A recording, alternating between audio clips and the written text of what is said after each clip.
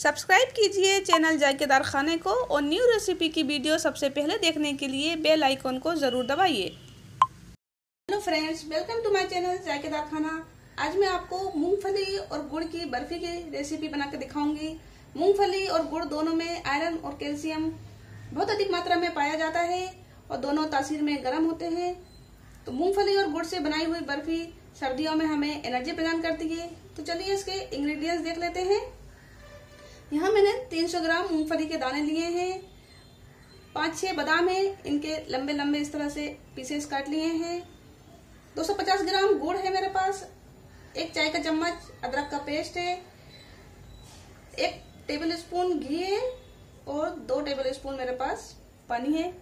चलिए मैं gas on कर लेती हूँ। गैस ऑन करके उस पर पैन रख दिया गर्म होने के लिए। पैन भी गर्म हो चुका है, इसमें हम जो और इनको चलाते हुए हम इनको भून लेंगे। गैस की फ्लेम को मैंने मीडियम रखा है। ये रोस्ट होना शुरू हो गए हैं। अभी इनको थोड़ा सा और रोस्ट करूँगी मैं। मूंगफली के दानों में से खुशबू आना शुरू हो गई है। रोस्ट हो चुके हैं जी। मैं गैस की फ्लेम को ऑफ़ कर देती हूँ। अब इनको ठंडा होने देंगे और हल्का ठंडा होने पे इनका हम छिलका उतार लेंगे।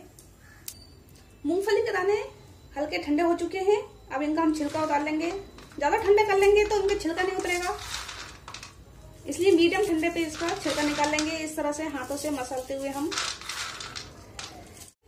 छिलका को मैंने अलग कर दिया है फटक कर अब इन दानों को मैं मिक्सर के जार में डालूँगी और इसका दरदरा पाउडर बनाऊँगी।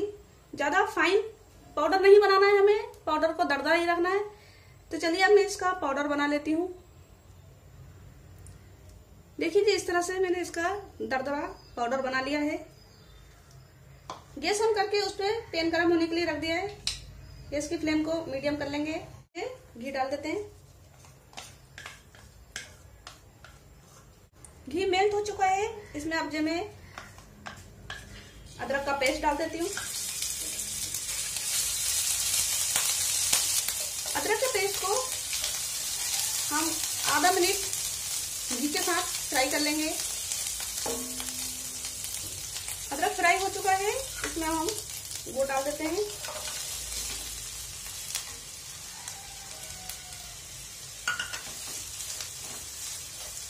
और ये पानी डाल देते हैं।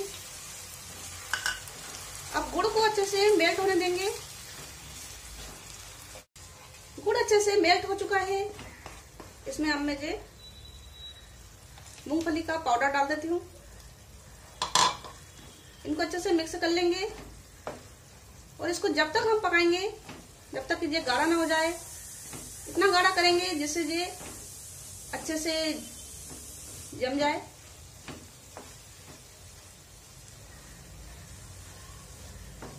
देखिए इसकी कंसिस्टेंसी एकदम जमने लायक हो गई है। अब मैं गैस की फ्लेम को ऑफ़ कर देती हूँ। यहाँ मैंने एक बर्तन ले लिया है। जिस बर्तन में हमें इसको जमाना है उसमें घी लगा लें।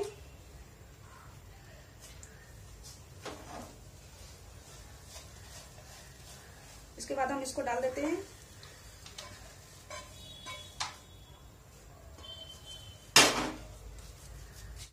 और इसको चारों तरफ़ फैला लें। ज़्यादा पतला नहीं करेंगे। थोड़ा मोटा ही रखेंगे, जिससे इसका सेव बर्फ़ी जैसा आ सके। इसके ऊपर अब मुझे कटे हुए बादाम डाल के इनको भी फैला लूँगी। इनको एक कटोरी की सहायता से भी हम चिकना कर सकते हैं। अब इसको 10 मिनट के लिए ठंडा होने देंगे। इसके बाद हम इसमें कट लगा लेंगे। इसको मैंने हल्का ठंडा कर लिया है। अब इसमें हम कट का निशान लगा लेते हैं, जिससे ये बाद में आसानी से निकल सके।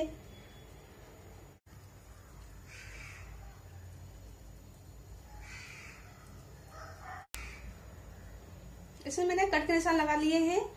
अब मैं इसको पूरी तरह ठंडा होने दूँगी। इसको ठंडा होने में दो घंटे लगेंगे, जिससे ये पूरी तरह जम के सेट हो जाएगी। इसके बाद इसके पीसेस निकाल लेंगे। बर्फ़ी पूरी तरह ठंडी हो चुकी है। अब मैं गैस ऑन करके इसको हल्का सा गर्म कर लेती हूँ, जिससे इसके पीसेस आसानी से निकल जाएँगे। चारों तरफ़ घुमाते हुए इसको हमें हल्का सा गर्म करना है बस। इस बर्फ़ी को मैंने गैस पे आठ दस सेकेंड गर्म किया है। चलिए अब इसके पीसेस निकाल लेते हैं।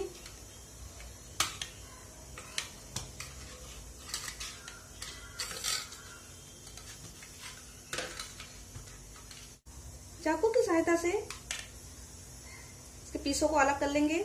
जो हमने कट लगाए थे, उन्हीं कट के ऊपर हमें डबल से चाकू चलाना है।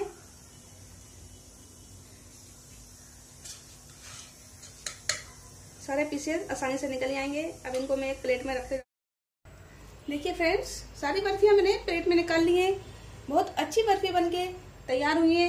इस बर्फ़ी में मैंने अदरक का यूज़ किया है। सर्दियों का मौसम है। वैसे भी अदरक हमारे शरीर के लिए बहुत फ़ायदेमंद होता है।